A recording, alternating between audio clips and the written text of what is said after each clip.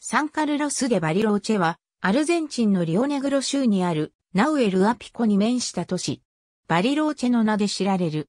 元はパタゴニア地方のイエズス海の最初の不況地であったが、インディオとの構想で18世紀に荒廃した。20世紀初頭にスイス系、ドイツ系、北、イタリア系の移民が入植して都市が建設された。湖と雪をいただくアンデス山脈の風景と住民の出身地を照らし合わせて南米のスイスと呼ばれるようになった。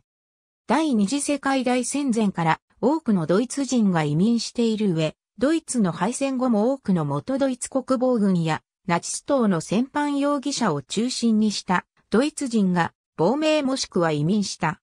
主要産業は付近に存在するナウエルアピ国立公園に関連した観光業で人口約12万人の町に年間約80万人が訪れる。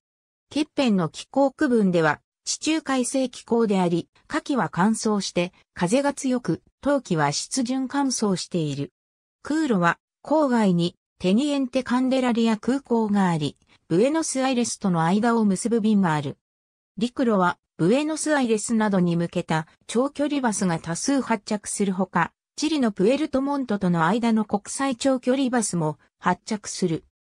また、ロカ将軍鉄道の周期点の一つとなっている駅が市内に存在し、ビエドマとの間にリオネグロ州の運営するセフェパ社が旅客列車及び観光列車トレンパタゴニコを走らせており、沿線の住民はもとより観光客にも重宝されている。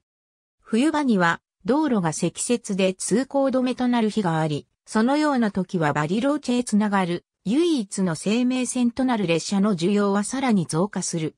ラテンアメリカを知る事典、P308 バリローチェの港アルゼンチンのチリ、在アルゼンチン日本大使館、 Climate Figures、World Weather Information Service、Accessed September 4、2007。ありがとうございます。